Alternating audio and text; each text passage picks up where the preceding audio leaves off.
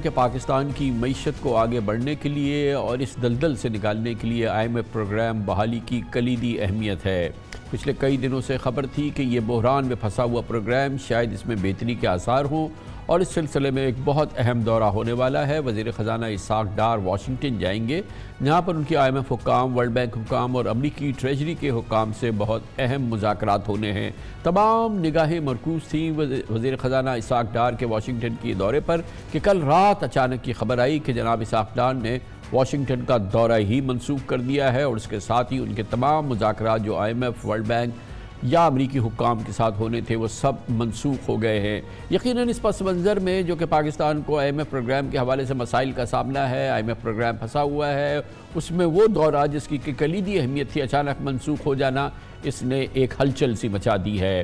कहा तो ये गया कि इसाक डार साहब ने मुल्क में जारी सियासी बुरान अदालती बुरान और दूसरे मामला की वजह से अपना दौरा मनसूख कर दिया है, मगर जिस दिन से इसाक डार साहब वज़ीर ख़जाना बने हैं, उस दिन से पाकिस्तान का सियासी बुरान माशी बुरान और ये ये तमाम बहरान जो हैं, वो इसी कैफियत में से दो चार हैं।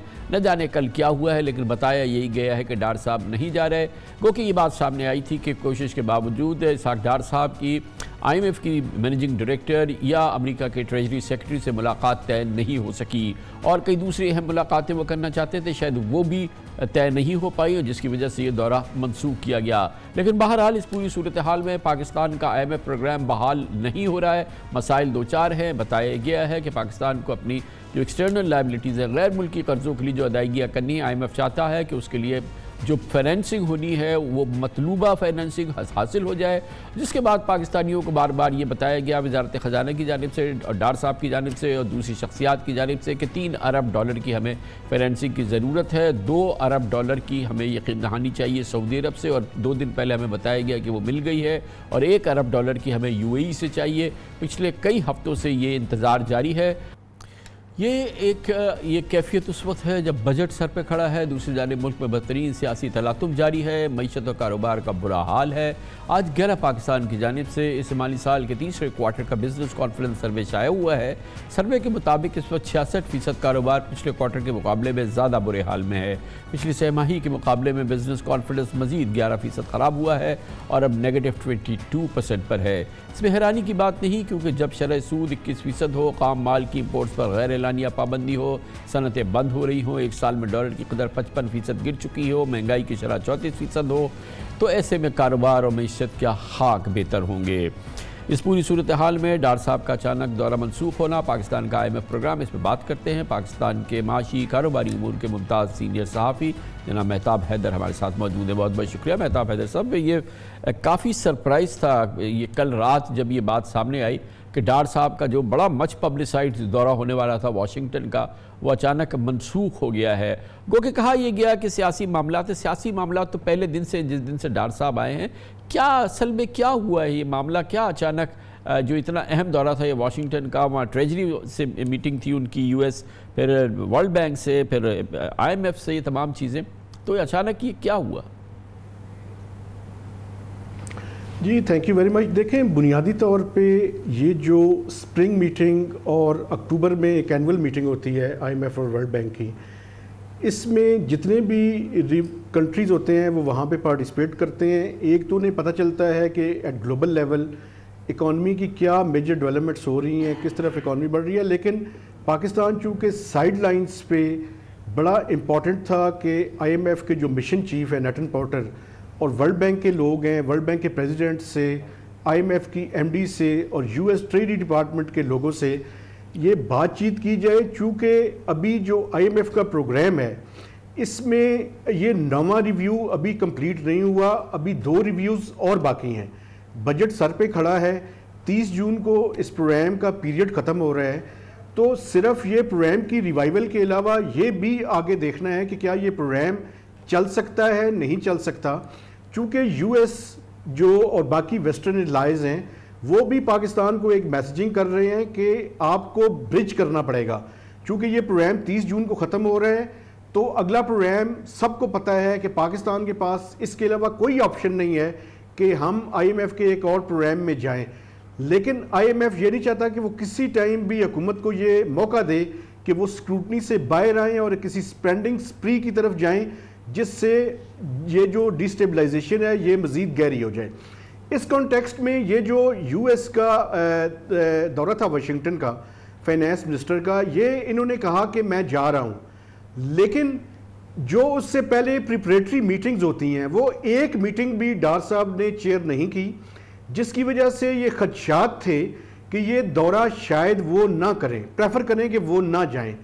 तो इसलिए मैं, मैंने दो तीन दिन पहले अपनी खबर में इसको इंडिकेट भी किया था कि उनका टिकट बुक हो चुका है, लेकिन एक भी तैयारी के लिए, चूँकि वो बड़े स्पेसिफिक होते हैं अपनी मीटिंग्स के हवाले से तो उन्होंने कोई भी इस तरह की तैयारी के हवाले से एक मीटिंग को भी चेयर नहीं किया। तो मेरे ख्याल में, उनके जहन में यही था कि उन्होंने इस दौरे पे नहीं जाना। इसकी आईएमएफ के हवाले से प्रोग्राम की रिवाइवल के हवाले से इम्प्लीकेशंस डेफिनेटली हैं। जो पॉजिटिव डेवलपमेंट है, वो यही है कि सऊदी अरब से आईएमएफ को कंफर्मेशन हुई है, लेकिन अभी यूएई से और ये जो क्रॉस फ्यूल सब्सिडी है, ये दो इश्यूज़ ऐसे हैं, ये क्रॉस फ्यूल सब्सिडी किसी सूरत में इंप्लीमेंट नहीं हो सकती, इसको स्क्रैप करना पड़ेगा और ये जो बाकी फाइनेंसिंग है, ये भी इंश्योर करनी पड़ेगी। लेकिन इसी अरसे के दौरान एक तीसरा इशू भी खड़ा हो गया है। वो तीसरा इशू ये है कि एफबीआर का शॉर्टफॉल है। इस शॉर्टफॉल के हवाले से भी हुकूमत को इकदाम करने पड़ेंगे। या तो एक टैक्सेशन मेजर्स लेने पड़ेंगे या अपने एक्सपेंडिचर्स को कम करना पड़ेगा। तो, तो इसलिए जैसे जैसे वक्त गुजर रहा है वैसी वैसी चीज़ें जैसे कि आपने खुद बताया अभी कि नाइन्थ हमारा रिव्यू हुआ नहीं है टेंथ इलेवेंथ रिव्यू बाकी है उसके बाद फिर हमें एक नए प्रोग्राम के अंदर जाना है। और फिर आगे इलेक्शंस की बातें भी हैं तो इस पूरी सूरत हाल के अंदर हम अभी भी आईएमएफ की जो जो जो जो जो जो एक्सपेक्टेशन है उन पर पूरा नहीं उतर रहे या उनके साथ जो हमारी कमिटमेंट है हम उसको पूरा नहीं कर रहे, ये प्रोग्राम तो बुरी तरह से फंसा हुआ है ना, हमारे पास कोई फॉल बैक है? देखें इसके अलावा कोई हमारे पास नहीं है कि हम चाइना से या सऊदी अरब से वो कोई पैसे ले लें, लेकिन मेरा ख्याल है कि ये पैच वर्क अब नहीं चलेगा। उसकी वजह यह है कि इस टाइम 4.2 बिलियन डॉलर्स पे फॉरेन एक्सचेंज रिजर्व्स खड़े हैं और आइंदा तीन माह के दौरान हमने कोई 4.5 से 4.7 बिलियन डॉलर्स की डेट रीपेमेंट्स करनी है। तो अगर आपने डेट रीपेमेंट्स करनी है तो कैसे मैनेज किया जाएगा? आई डोंट नो उसकी वजह यह है कि अगर आपने इसी पैच वर्क के ज़रिए इम्पोर्ट्स को कर्टेल करके यहाँ तक तो पहुँचा दिया कि आपका करंट अकाउंट डेफिसिट आपने कम कर लिया, लेकिन ये करंट अकाउंट डेफिसिट जो है वैसे ही बढ़ जाएगा। जब आप ट्रेड रिस्ट्रिक्शंस को ख़त्म करेंगे तो बुनियादी तौर पे आईएमएफ के अलावा तो मेरे ख्याल में कोई ऑप्शंस नहीं है हमारे पास तो रिवाइव करना पड़ेगा ये प्रोग्राम तो वो रिवाइव भी तो नहीं हो रहा ना। अब आप देखें कि, कि 10 फरवरी को डार साहब ने कहा था कि तीन से चार दिन के अंदर होगा। आज हम 10 अप्रैल भी पार कर रहे हैं और वो प्रोग्राम नज़र नहीं आ रहा। और हुकूमत ने वैसे तो हर चीज़ पूरी कर ली है, लेकिन ये भी एक अजीब बात है ना कि हमारे हमें जो एक्सपेक्टेशंस हैं या जो हमें सपोर्ट चाहिए, वो अपने एल से नहीं मिल रही है। जी, बिल्कुल उसकी वजह ये देखें ना, मुल्क के अंदर जो पोलिटिकल इंस्टेबिलिटी है, वो भी इन चीज़ों को देख रहे हैं और वो उनकी नज़र में है। लेकिन चलें, ये तो पोलिटिकल इंस्टेबिलिटी तो इशू है ही, लेकिन मुझे ये समझ नहीं आती कि देखें ये क्रॉस फ्यूल सब्सिडी की इस टाइम क्या ज़रूरत थी? एक ऐसी स्कीम जो आपने छः हफ्तों बाद अनाउंस करनी है और ऐसी स्कीम जो कि शौकत तरीन साहब भी जिस पे काफ़ी गौर फ़िक्र करते रहे हैं और former finance minister Miftah Ismail साहब ने भी बजट में कोई अड़तालीस अरब रुपए सस्ता पेट्रोल के नाम से बजट में मुख्त किए थे, वो स्कीम डिज़ाइन हो ही नहीं सकी तो उस वजह से फ्लड की तरफ़ वो पैसे डाइवर्ट कर दिए गए थे। तो बज़ दफ़ा तो ये समझ आती है कि ये सारी चीज़ें स्पॉइल करने के लिए इस्तेमाल हो रही हैं, लेकिन देखिए, चीज़ें बड़ी क्लियर हैं। अगर हम आईएमएफ के प्रोग्राम की तरफ़ नहीं जाएँगे तो हर आए दिन जो है, इस क्राइसिस के नतीजे में उसके मल्टीपल जो इफ़ेक्ट्स हैं, वो पाकिस्तान की इकॉनमी पे ज़ाहिर होते रहेंगे।